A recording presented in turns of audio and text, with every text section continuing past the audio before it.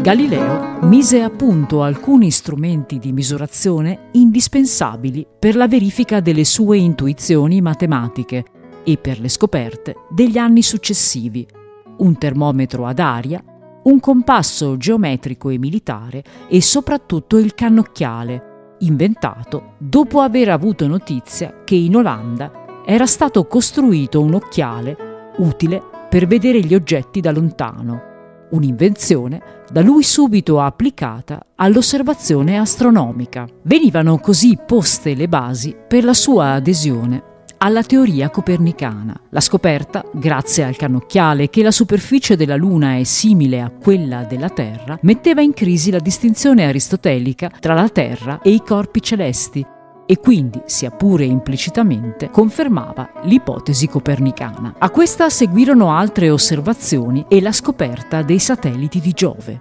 Di tutte queste scoperte, Galileo dette notizia nel Sidereus Nuncius, un'opera in latino pubblicata nel marzo del 1610 e dedicata al Granduca di Toscana, Cosimo de' Medici. I quattro satelliti venivano chiamati Astri Medicei. L'opera ebbe vastissima risonanza in Italia e in tutta Europa. Nel 1616 da Padova Galileo rientrò in Toscana e fu nominato matematico primario all'Università di Pisa ma senza obbligo di insegnare e anche matematico e filosofo di corte. Negli anni seguenti Galileo investì quasi tutte le sue energie intellettuali nella dimostrazione scientifica della validità della teoria eliocentrica elaborata da Copernico. Il dialogo sopra i due massimi sistemi, pubblicato nel 1632, è la sintesi sublime di un lavoro di studio di almeno vent'anni sulla teoria copernicana. Le dimostrazioni fornite da Galileo relative alla somiglianza tra la Terra e i corpi celesti e al moto della Terra come causa delle maree mettevano in discussione tutta una concezione del mondo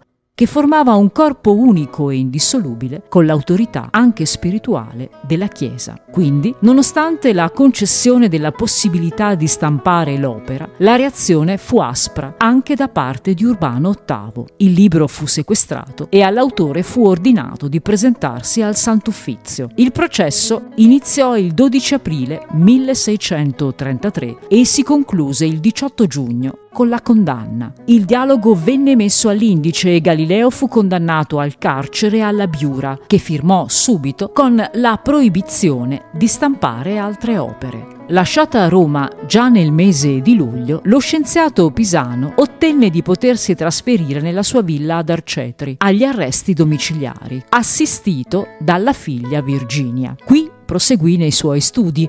Le ultime opere, dedicate alle ricerche sul moto, vennero pubblicate in Olanda nel 1638. Galileo si spense nel 1642. That's all, folks.